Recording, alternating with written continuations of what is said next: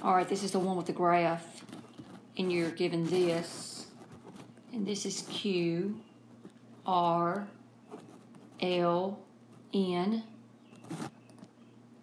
And how do they grow? Then they do something like this, and there's they call that point M, and we got a point P up here.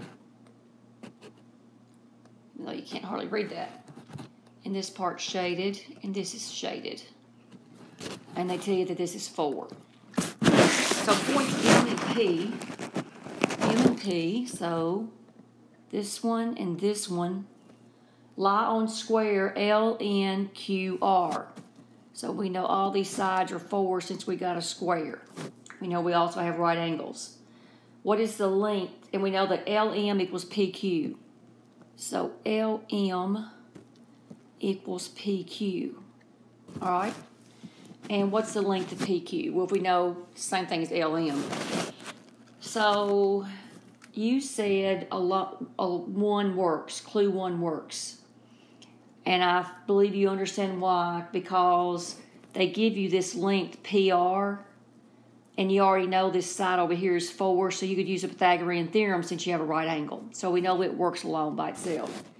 Now, if I look at clue two, it says the ratio of the area of the unshaded to the total is two to one.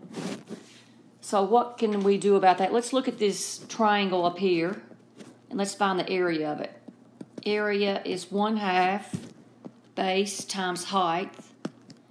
And of course, the area of this triangle here is going to be the same as this one because this length is 4 and we know that LM equal PQ.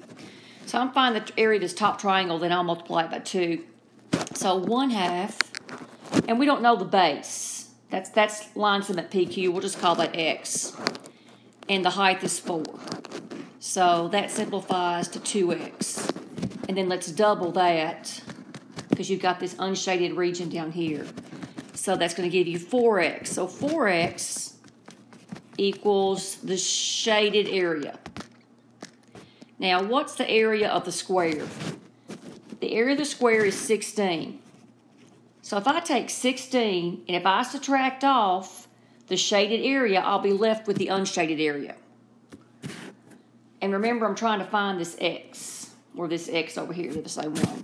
So 16 minus 4x represents the unshaded area. So this is what I'm trying to find using clue 2.